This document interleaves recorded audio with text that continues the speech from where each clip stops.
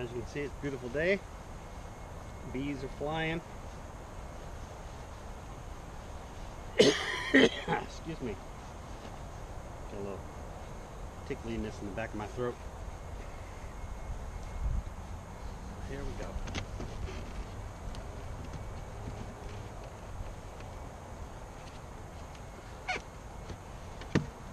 With the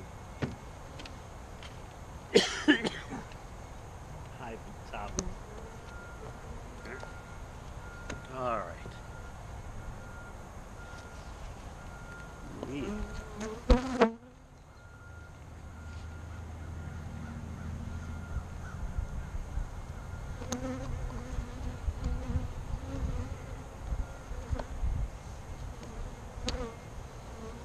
Well, I may have to get a smoker.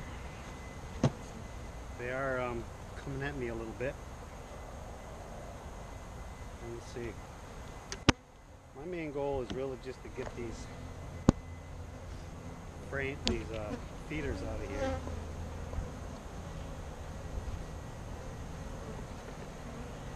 Here's the frame, nothing on it, either side.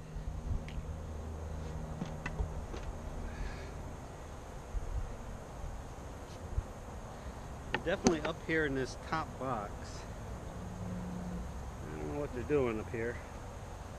Maybe getting ready to store honey up here.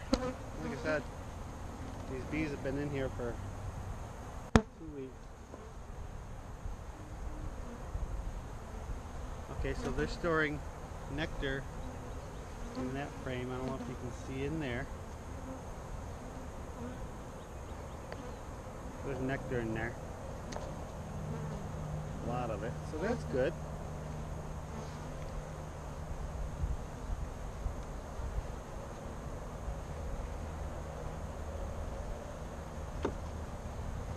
I'm just gonna pull one more frame up the top here before I pull these feeders out. Feeders have been in there and I don't want them to start fermenting in there so it's time to get them out.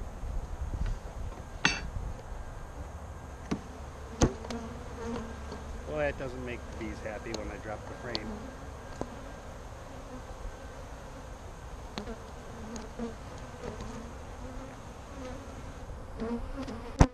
Again, full of nectar. Look at those beautiful bees.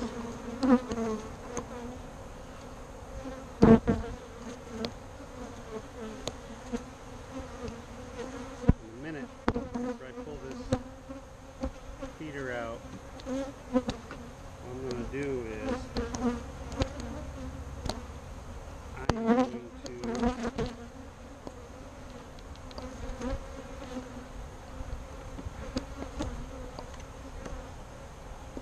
I'll go in the bottom box and show you what that looks like down below.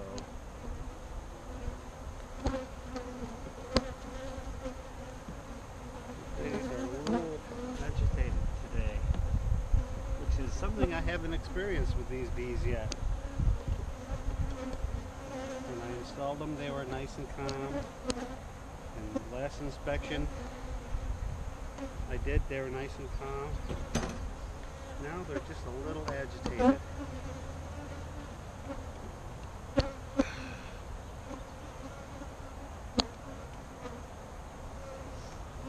So I'm just gonna put these empty frames in there.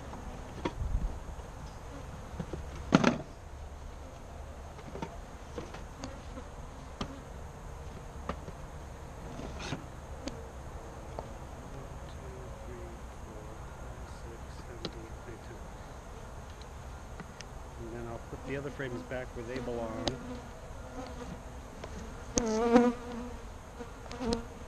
And then we'll go into the um, bottom of the hive and see how their progress is down below.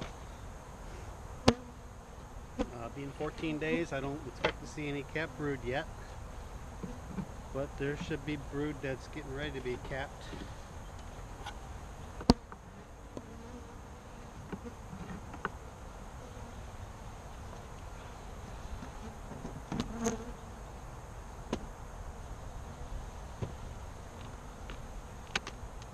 just lift this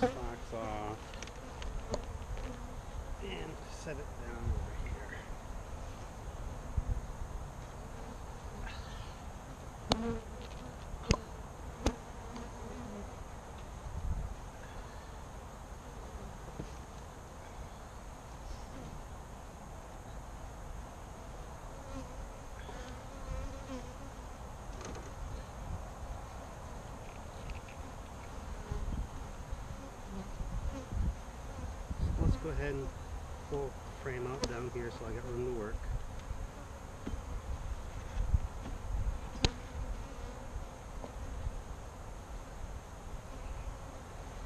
And of course there's never anything, not in a new hive anyway, on the outside frames. But I like to look just to make sure.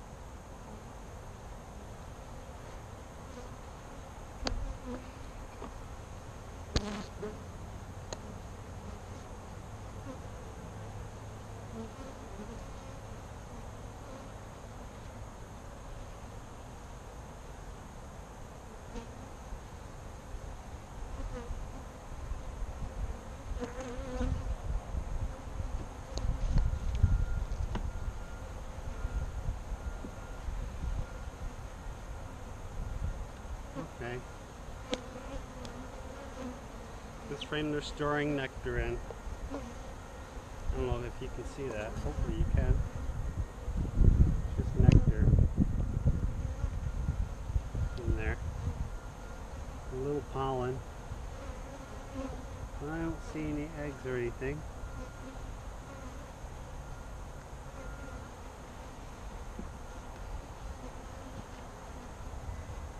We'll go on to the next one here.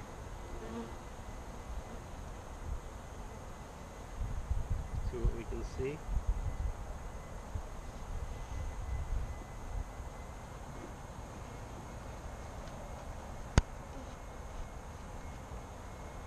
Oh, wow.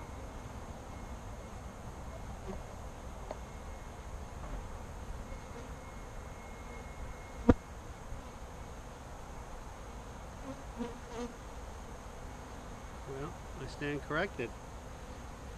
They've got some cap brood. See the cap brood right there? Cap brood on this frame. And nectar and pollen.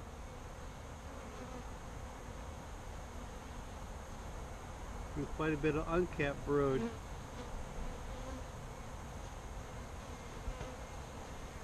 Uncapped brood right in here. Hopefully the camera can pick that up. Uncapped brood, capped brood. So that's really good. This back nice and carefully. Won't agitate them.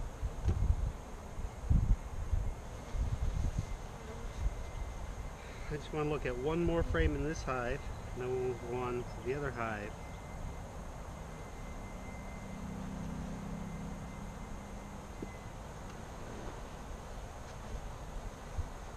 Yeah.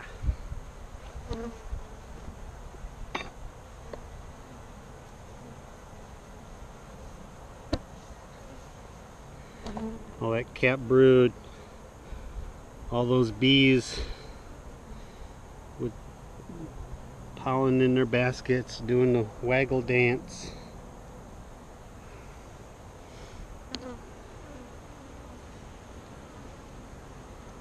There's still some brood in here that, um, some larvae in here that's not capped yet. But these bees are doing really well. Really well. I am liking what I'm seeing. Hoping that you guys can see that too. Look at all that brood. Now, one thing I did when I when I received when I got this package of bees from. I, I brought it here and I installed it. And it was I admit it was my very first package I ever had uh, had installed. So I wasn't too sure what to expect. And these are Saskatraz bees which are bred for their docility and their production and their hygienic tendencies to kill varroa and trachea.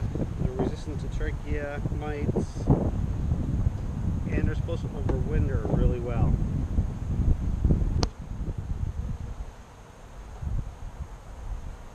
And when I installed them, first thing I noticed when I took the can out of the package, I noticed that um, that the cans were pretty empty. And uh, and then I um, took the queen cage out and I went to pull the cork out and didn't realize there wasn't a sugar plug in there and uh, what I what I did notice that I was able to rub the bees off the queen cage.